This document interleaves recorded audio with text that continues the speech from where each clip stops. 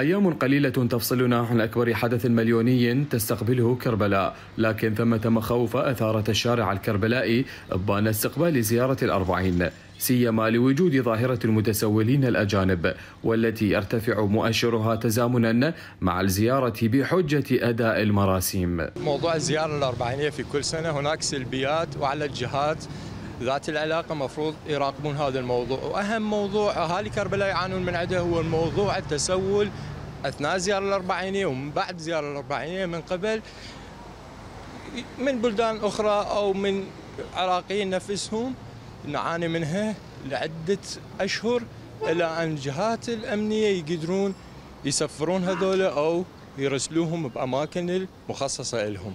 فنتمنى من عندهم أنه كل سنة يحافظون على هذه العملية ويتشددون قبل لا تبدي هذه المضايقات على الأهالي وعلى العراقيين والزوار جميعا. الإدارة المحلية تقول أن تشكيل لجان مختصة ترافقها الجهات الأمنية وضعت خطة من خلالها تمنع هذه المشكلة التي رافقت زيارة الأربعين في السنوات السابقة لتكون كربلاء بيئة آمنة لكل الوافدين من داخل وخارج العراق. الأمور التي تم التجديد عليها مع قواتنا الأمنية بشتى أصنافهم هي موضوع التسول في محافظة كربلاء.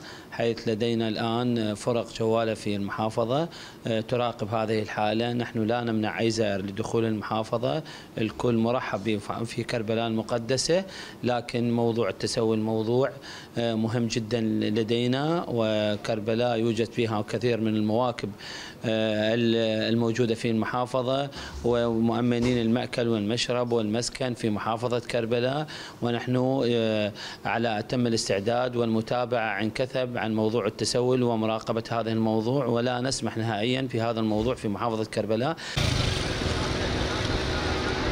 ومن هنا يحمل الكربلائيون الجهات الرسمية مسؤولية مراقبة ومحاسبة المتسببين بهذه الظاهرة غير الحضارية التي ظهرت انعكاساتها سابقا في الزيارات المليونية. من كربلاء جاسم الهميم التغيير.